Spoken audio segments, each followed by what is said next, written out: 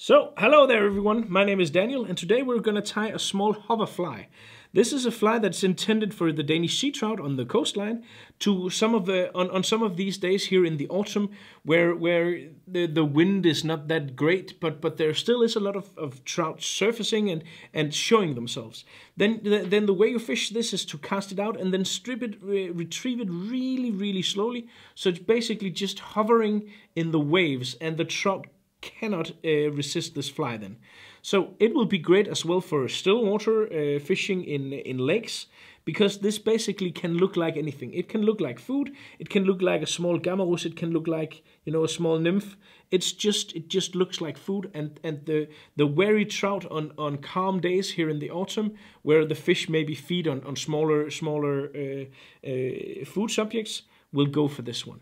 It's one of my good friends Bo who has invented this and uh, well, his the pun on this is uh, his name actually means the liberator, kind of. So so I'm gonna call this the liberator, named after after the guy who invented it. Well, now we're gonna tie the fly.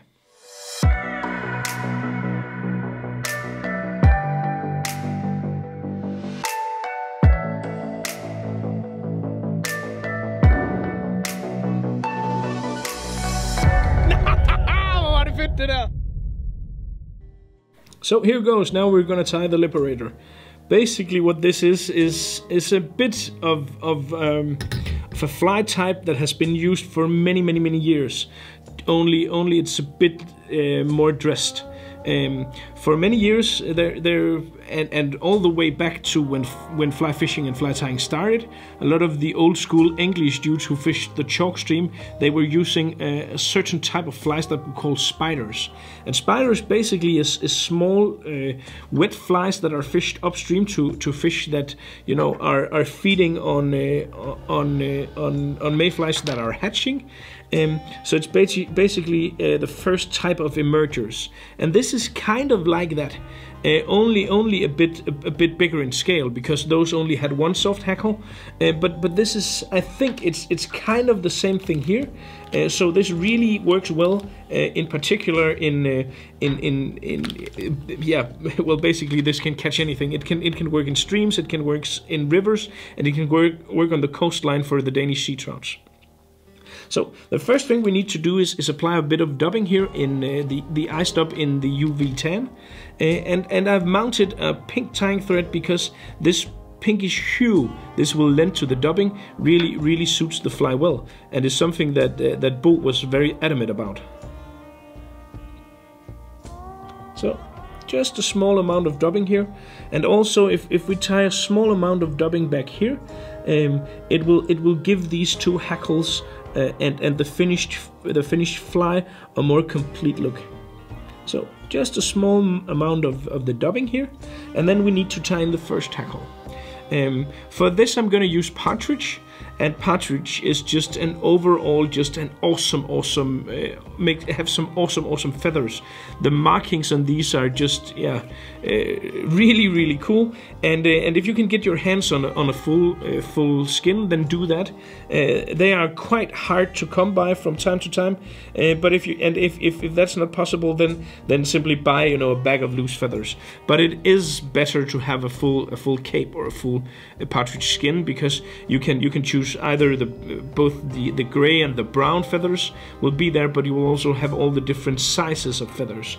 So you can easily e easily change uh, the size that you need for for that particular size of hook or that particular pattern. So I have taken two of the grayish feathers here and uh, just removed all the woolly part from the from from far down on the, uh, on the on the hackle stem. And then I'm gonna fold everything backwards I'm going to take the hackle here and I'm going to tie it so it's on top of the hook uh, with the uh, with the shiny side pointing upwards because that will help give me the right uh, bend and the right curve in the, the that the feather have naturally to be backwards when I when I turn my uh, my hackle here. Now I'm going to use my hackle plier and uh, I use the CF one. It is the best one I have ever tried. So it is the best one in the known universe. There is simply there is no comparison. There is there is this one, and then there are all the others. It is simply just magnificent and and just it's just one of those tools where you just you're happy every single time you, you pick it up because it just it just works and works and works. And the world is a better place since this arrived in it. yeah, yeah, yeah, yeah. Yeah, Stephen is laughing and looking a bit embarrassed behind the camera. You're you're all right to do that, so Stefan. Sorry. Yeah, yeah. That's how it is. so that was the first hackle here. Uh, I think this was no, it's okay. It's okay. It's gonna as as soon as as this has been in the water, it's gonna get a bit mangled and look and look less, you know, like less less dense and less less thick. This is one that I've been fishing with. So now basically we take some more dubbing, more of the uh, the uh, tan uh, UV ice dub. Again, basically just add it to the thread here. There we go. And then I'm gonna move the dubbing here up along the hook shank towards the eye.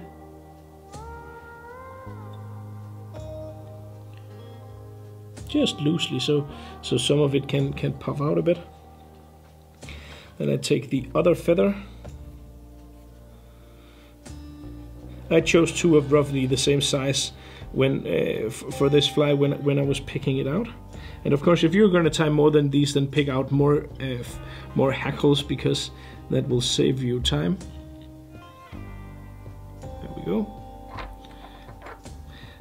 And again, this is one of these flies that can look like a small gammarus. It can look like something that's hatching. It can look like, basically it, it, it just looks like so many different things all at once. So the trout just have to grab it. Fold everything back while I turn.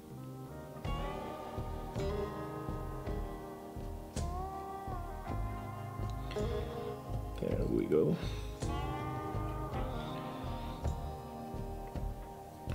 Tying down the hackle stem.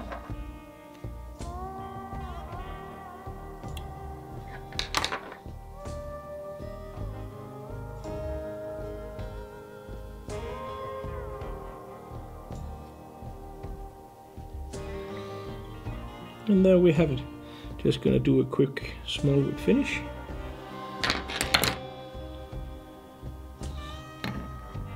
Cut away the tying thread and then apply some varnish or some Sabagab. In this case I'm gonna use Sabagab, which is basically the thing I always use. It's strong and it just make your fly lasts a long long time. There we go. The Liberator. Perfect for trout everywhere. so, the Liberator done and ready for the fly box. Um, a fly that really works well for a lot of different things. This is deadly for trout in any size and any shape all around the world. Um, you can find the complete material kit to this fly and to all the other YouTube videos you find here on the channel. Um, my name is Daniel and it would mean a lot to me if you would subscribe to the channel. Otherwise, I wish you all the best of luck out on the water. Thank you for watching.